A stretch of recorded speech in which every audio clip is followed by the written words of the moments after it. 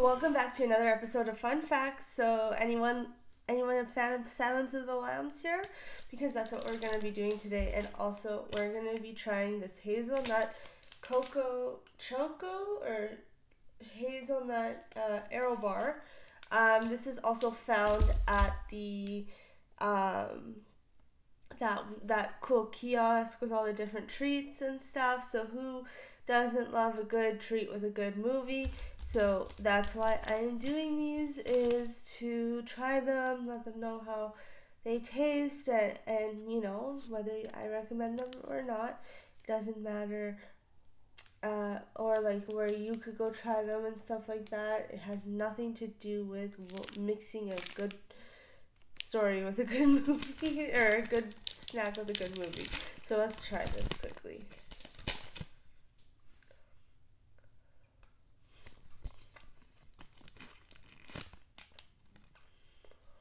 Mm. Mm-hmm.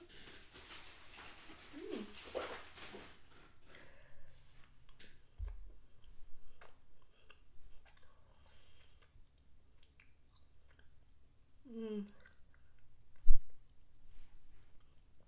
10 out of 10 recommend because you still get the original t- taste of an Aero bar but this is more of a like a hint of hazelnut so it doesn't overpower the chocolate. Whereas i find with some of the other Aero bars like the tiramisu like those ones they overpower the chocolate and then it makes it not as good. So I do like that one. That haze on that one is really good. Go try it. Um, I'm sure it's easy to find. Let's get into some new, let's get into some fun facts. Okay, so let's get into some fun facts here. The Silence of the Lambs is the third film to ever win all the big five Oscars um, Best Picture, Actor, Actress, Director, and Screenplay. The other two were It Happened One Night in 1935 and One Flew Over the Cuckoo's Nest in 1976. Number two, Gene Siskel gave The Silence of the Lambs a thumbs down. James Gene Siskel infamously didn't see what all the fuss was about, dismissing the movie as a star-studded freak show and writing that The Silence of the Lambs was a case of much Ado About Nothing. The Oscars and Roger uh, Ebert disagreed. Um, the rights to Hannibal Lecter were given away for free.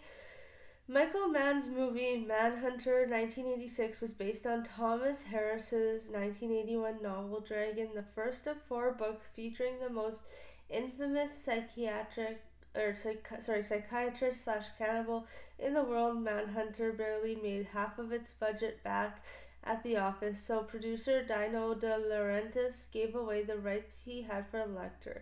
The Silence of the Lambs producers greatest Lecter's second movie ended up making 272.7 million, about 264 million more than this his first. That's crazy. Um, I've heard about Hannibal Lecter or the show, I believe. I would love my boyfriend wants me to watch it, so I hear it could be really bad, but like I mean in a gory kind of like really bad kind of disturbing way. But I wouldn't mind saying no to watching it. Like I would be interested. Um, I did like Silence of the Lambs. It does have a good storyline from what I remember. I swear, like it was like a high school thing to watch, or it was like a high school book or a high school movie to watch. It was like an I thought it was like an educational one, but definitely probably not because there's some pretty gory like or disturbing scenes like the guy in the jail cell who, you know, threw that thing on her. Like I'm not going to say, but if you know, you know. And that's the one thing that I remember the most because that grossed me out the most. Um, Number four, Gene Hackman was originally set to direct and star The Silence of the Lamb. Gene Hackman and Orion Pictures split the $500,000 needed to purchase the movie rights to the book. But Hackman dropped out days after he watched clips of himself at the 1989 Oscars as FBI agent Rupert Anderson in Alan Parker's Mississippi, Mississippi Burning.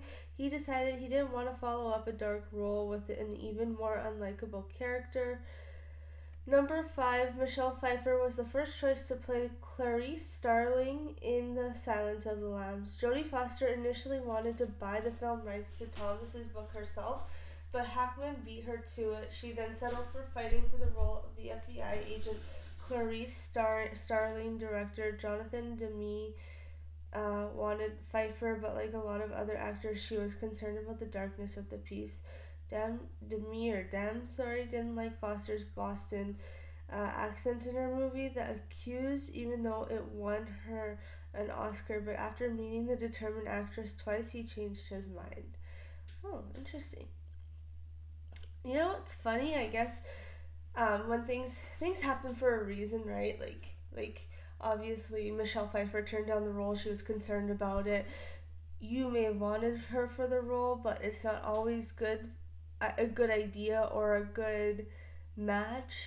And I do see that because it's like I couldn't imagine someone else playing that character other than Jodie Foster because you you know, um because that that was given to her that was also we watched the show so many times or some people have watched the movie so many times and they're a big fan of Silence of the Lambs or or even Friends like I couldn't see people be Lisa Kudrow because or Phoebe because she fit the character best probably due to um like her person her her acting skills and stuff. And like it just it and also I get why they're looking for a specific person. However I think they did great with Jodie Foster because she kind of has that like toughness to her it seems with the with her character. Number six, Jodie Foster was concerned that the Silence of, the Lambs was going to make the FBI look dumb or stupid. I wonder why. Sorry, my legs are hurting right now. you might see more of me, that's okay. Here. Here we go. Now we're going back in. okay. Um, Dem directed the 19. Uh, why is there advertisements? Directed the 1980 comedy Married to the Mob, starring Pfeiffer, which didn't portray the FBI in the smartest light. After the agency impressed Foster with their handling of a death threat against her, they had her they had earned her respect enough that she approached Dem before filming to make sure that the FBI would per- be portrayed in the correct way. Makes sense, but comedies, and I know Silence of the Lamb is not a comedy, but in lots of other movies, don't they make FBI people look kind of dumb in like a comedy or whatever? I'm just curious. I don't know if that's true or not. Next one is Sean Connery was the first choice to play Hannibal Lecter in The Silence of the Lambs. I, it reminded me. Sean Connery, I've never heard of him up until I started watching those Saturday Night Lives with Will Ferrell, and I know that's not the real Sean Connery, but um, watching the guy play Sean Connery all the time just kind of came to mind. Connery read the script and found it revolting. Daniel Day Lewis and Derek Jacobi were also considered. Next one is Anthony Hopkins channeled an author, actress, and a computer in playing Hannibal Lecter in The Silence of the Lambs. They were Truman Capote, Katharine Hepburn, and HAL from 2001 A Space Odyssey, respectively.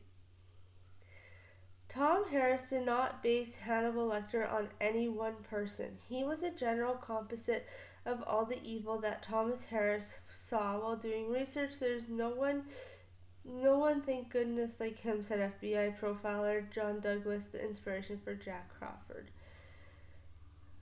Um, Scott Glenn broke down while researching his role as Jack Crawford for The Silence of the Lambs. Douglas gave Glenn a tour of the FBI's behavioral science unit in Quantico, Virginia, after hearing tapes of serial killers Lawrence Bittaker and Roy Norris raping and oh, raping and torturing a young girl.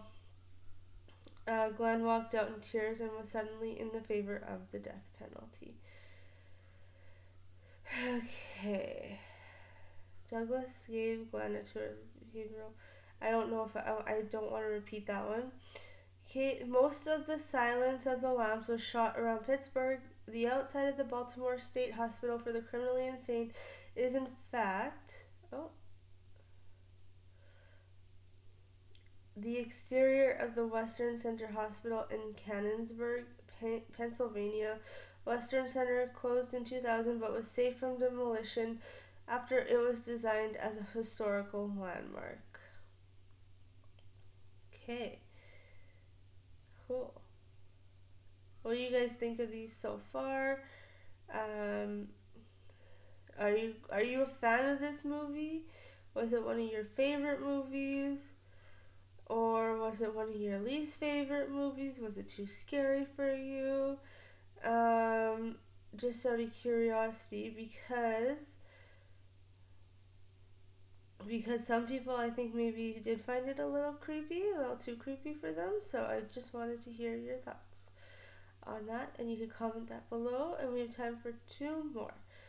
The film equaled a, a famous record. Oh, we read that one. The poster isn't quite what it seems. The poster isn't quite what it seems. Almost as iconic as the characters, the poster is one of the great movies one sheets to come out of the 90s in 2006. It was named the best poster poster of the last 35 years by the Key Art Awards. There is what looks like a skull on the moth in the poster, and it, this was inspired by Salvador Dali's In Voluptas Mors, which was a picture of se- seven naked women entwined to create the illusion of a human skull. If you look more closely, you'll see it isn't a skull. Oh, no, it's not. It's that's neat.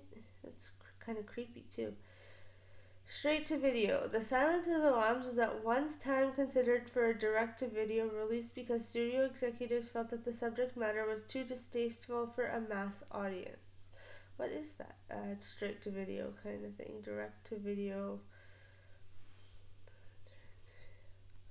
What is a direct to video? Direct to video or straight to video release of, of a film, television series, short, special to the public immediately on home video formats rather than theatrical. Okay, direct video releases can be done for films which cannot be shown theatrically due to control. Okay, so they can't be in theaters. Oh gosh, I froze. but they can definitely be on, like, say, Netflix, but I mean, it would be like a VHS at the time, being in the 90s. But that is it, you guys, um, for. for oh, what happened there? That is it for the facts there um, for Silence of the Lambs. I hope you guys enjoyed it. Go check out, go eat that Aero bar. It's tasty, and go check out those sites, which I'll have down below. Um, also, go check out my Patreon, which is uploaded every Sunday. Spotify one will be uploaded Thursday and Sunday, all about travel moments, Patreon's animal and travel, and then our um, dog channel. So go check those out. You have an awesome rest of your day. Chat soon. Bye now.